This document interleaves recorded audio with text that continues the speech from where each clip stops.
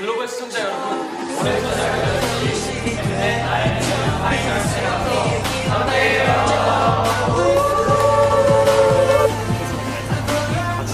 n 요